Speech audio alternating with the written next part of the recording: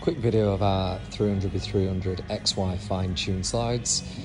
We've made these 110 volt, configured for Lincoln Electric NA3 and NA5, which has a gland that in the side that we've fitted to wire it straight in. So for the purpose of this exercise, we've just fitted a, a 110 volt plug. But just to show you,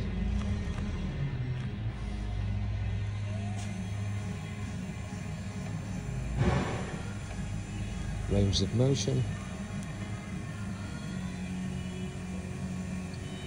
This is a Lincoln Electric head assembly stem swivel bracket.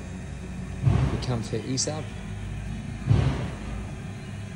We have manual slides available as well.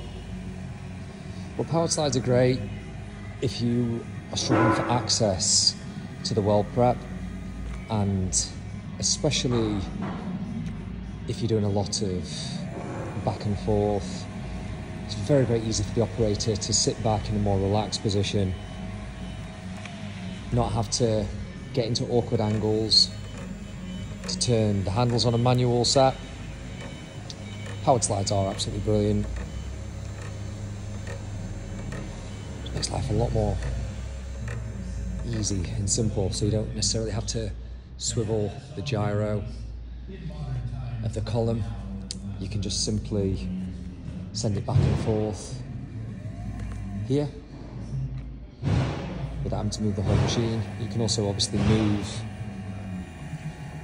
the head whilst welding, just in case if there are any movements, any corkscrewing on rotators, for example, if the weld prep does go slightly out of line, a good operator can adjust it. If you don't have a seam tracker, we do actually have the ESAB joint trackers in stock, which we fit to the powered slides. That's a slightly different head assembly setup, but also in stock. We also insulate everything, so no weld current can get into any of the control boxes. But yeah,